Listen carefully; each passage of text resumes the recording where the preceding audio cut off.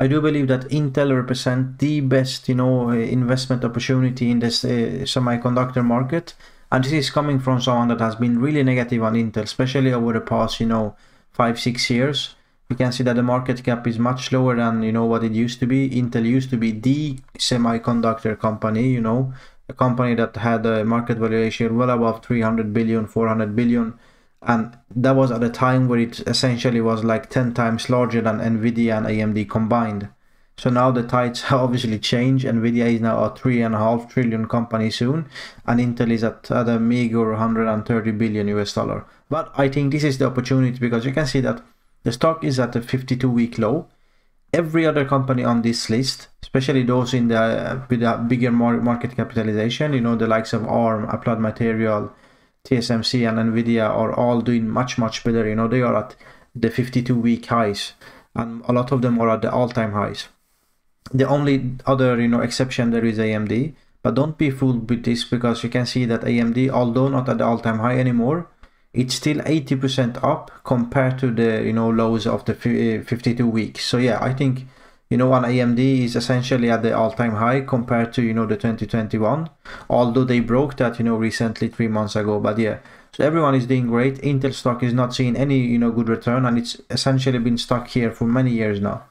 So why do i think it's a good opportunity to invest in intel despite all the bad news? Well if you go to this list again this is the q1 reported earnings uh, at 12.7 billion us dollar and you can see that uh, I marked the three segments that I do believe are the most important. The client computing, so this is the laptop, uh, you know, the laptop CPUs and the GPUs and the APUs. Uh, also for the you know desktop market. Then you have the data center, the bread and butter previously for the company, and also the you know Intel Foundry Service, so the manufacturing plants, the competition to TSMC. Although you know they are uh, behind TSMC, but some some some stuffs uh, kind of start to point to the picture that you know Intel might be able to turn this around. And with that in mind, with these three different segments and how they, I believe, are on the cusp of changing the foundry service, you know, getting to much better footing with the TSMC. And that's obviously going to affect the other two big segments, you know, client computing and data center because if this uh, Intel manufacturing uh, is getting better, you bet that you know this company is gonna be able to produce a lot of good you know uh, consumer CPUs and GPUs and as well as well you know AP sorry server products that I'll talk about soon. But you can see on the consumer side, I think Intel is gonna be much more competitive this year by end of the year with Arrow Lake. Uh, which is a product for the you know CPU on the gaming side and you're gonna probably see it on the mobile side as well. Lunar is more meant for a low power APU for mobiles for thin uh, thin and light uh, laptops and I think this one is gonna be really really efficient. So I, I do expect this to you know see some nice wins. So this is the basis why I think that the company will perform very well on the client and computing group. And this is why I kind of projected an increase as we go on in Q2 Q3 and Q4 and there's a path for this that you know that I believe that I'm kind of um, underestimating how well the Q4 could be. Maybe we're gonna get you know back to the nine billion, and that's you know not something that's you know out of play. And the company's uh, Q4 of 2021 was over 10 billion, so I could see that you know being possible. But let's stay with 8.3 billion. Data center as well, you know. Maybe this one is a bit optimistic. Difficult to say, but maybe four and a half billion is more realistic even four billion. But i went with five because i do believe that things are turning around. Uh, intel in uh, 2022 and 2023 was really way off amd amd was dominating like never seen before. But in 2024 with the with the server cpus that you can see here sierra forest that launched recently with 288 e cores and this is a new you know strategy for intel so they're gonna have a less powerful more energy efficient e-core for some kind of server workloads. And then they're gonna have the more much more powerful more uh, energy consuming granite rapids uh, p cores and this is a process and uh, you know a system that they're gonna go onwards uh, also in the next year where they're gonna have the diamond rapids uh, which will be the successor to the successor to the P-Core, uh, so successor to Grand Rapid, and Clearwater Forest, which I think will definitely be the one that's maybe gonna put a dent into a lot of other server options out there, and it's gonna be based on Intel 18A. But let's quickly look at some headlines about you know the the Sierra Forest.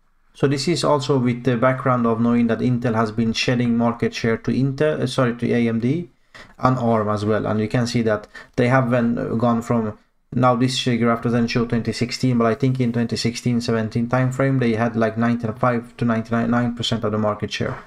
Now last year they were around 70 percent 20 percent to amd and 10 10 to 8 percent to arm so yeah with that background we can see that you know uh, a lot of headlines you know uh, shatter Xeon expectation so basically they are saying that uh, the, the new Sierra Forest is doing really, really well.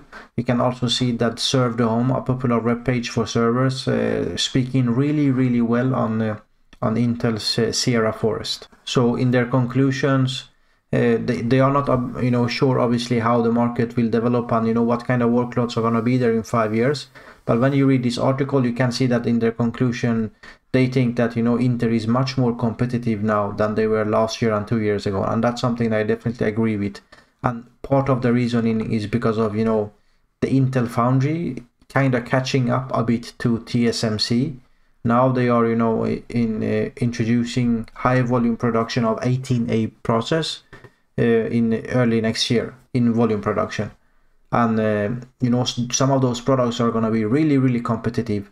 And by next year 2026 so the year after that they're gonna even introduce you know the intel 14a and intel 14a is gonna be one hell of a node you know it's gonna possibly take the take back the crown very very confidently from um, from tsmc so i think that's very important to know and then there's you know then there's uh, the this this line here i think this is very important so Gaudi 3 is the competition to NVIDIA's AI, like H100, H200, and AMD's MI300X.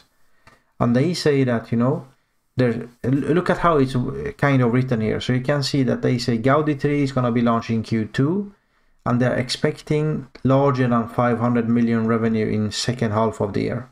Now, you know, maybe they are becoming a bit conservative and they're, you know, maybe they're seeing actually maybe 1 billion also uh, more than 1 billion. So I think this will be very important for Intel. They are a bit late on the game, you know, when it comes to when it, when it comes to data center uh, uh, GPUs, which we can see here. So you can see that Nvidia's volume already was 48 billion last year, expected to be around 90 billion this year, and maybe over 100 billion next year. AMD was a bit slower than Nvidia, they had five, 500 million around there in 2023 expected to be anywhere between 4 to 5 billion this year maybe 10 to 12 next year. But intel is kind of ramping up by late this year. So they are essentially two years behind Int, uh, uh, nvidia and one year behind amd but if you add everything together i think you know you look at the good process node the execution that intel keeps doing. And they're gonna introduce this thing called backside power delivery which they're gonna be the first one with ahead of uh, tsmc they, they are gonna be the first company that uses this very important tool which you can see also in uh, uh, my video about asml i did a couple of days ago. I'll link it to in the in the section down below but you can see that you know they they gonna be the first company to access uh, this new machine uh, from asml and this is you know a stopper in in silicon manufacturing once you go you know down the steps in the in the manufacturing nodes. So once you go you know you can see here in the pink with TSMC and the blue with Intel. As you go below 7 nanometer or thereabouts you are needing these ASML machines EUV and as you go you know around 2 nanometer or 18 uh, 18 angstroms that Intel called it you're gonna even start to need need uh, to use the second generation of the EUV machines. And it looks like you know when you read the industry that you know Intel is gonna be kind of first out there. So I think yeah, things start to look really good. And if you look at the if you look at the you know the Intel revenue, Um, now remember that these three numbers there 17 almost 19 and 21 billion are a bit wrong because intel how they report now is a bit confusing. So you can see here that they reported 12.7 billion in revenue in last quarter as you see i've written here 12.7 but if you actually add everything together here you know 11.9 plus four and a half almost plus 300 million and plus yeah so it's essentially 12 billion plus uh, you know 6 5 billion. That's 17 billion way ahead of the 12.7 so where do they lose those you know additional billions? Where is actual the intercompany fees. So uh, you know intel is buying obviously some wafers from their own foundry. So intel products and altera and mobileye buy stuff from intel foundry. So once you even out that kind of internal revenue and sales that's the number you get so in my numbers, you know, uh, these these three numbers are more in line with the once you remove. So you have essentially to remove 400, uh, 4 billion from each. So if you remove around 4 billion, 4.5 billion from these numbers, that's my actual expectation. So my expectations, you know, if you take this number here, let's do it quickly here. So the, it would be this cell minus 4, 4.5 billion for the internal revenue. So that's actually more in line, you know, that would be my actual expected revenue roughly for Q4 of this year. And uh, I think with this revenue base, Intel is start to make a bit more money. And uh, if you look at the historical numbers that they had, I think this is really, really important to look at actually. Look at this.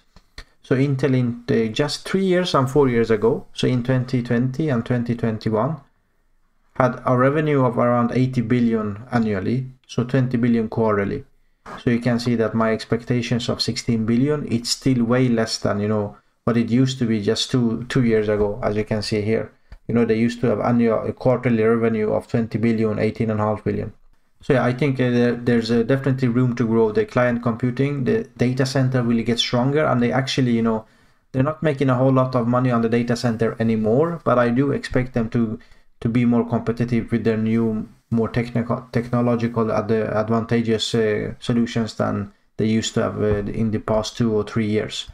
So adding everything together, I think 16 billion is possible by Q4. And actually, you know, Q4 of 2023 was 15.5 billion. So it's just one additional billion. But the important thing here, you know, is to also, you know, what could, uh, let's say, Q4 of next year, 2025 be? I think by, by that time, if the Intel Foundry Service and Intel 18A node is, is good, and I think, you know, in the data center, Intel will start to have some really, really nice sales of, you know, the Gaudi chip. So maybe Intel in next year will have 4 billion, 5 billion of sales in the AI data center as well.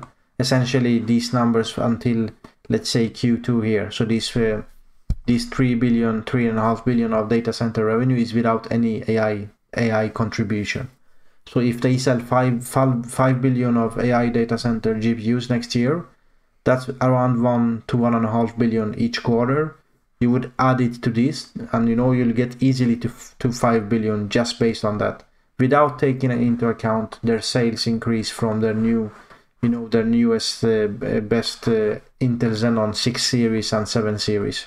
So yeah if you consider everything you know i think there's a clear path for intel. If they manage to show that the manufacturing side is getting better and you know i forgot to mention that of the 80 billion they used to have in revenue 2020 and the next year after that 2021 they used to make a net income of you know 20 billion thereabouts.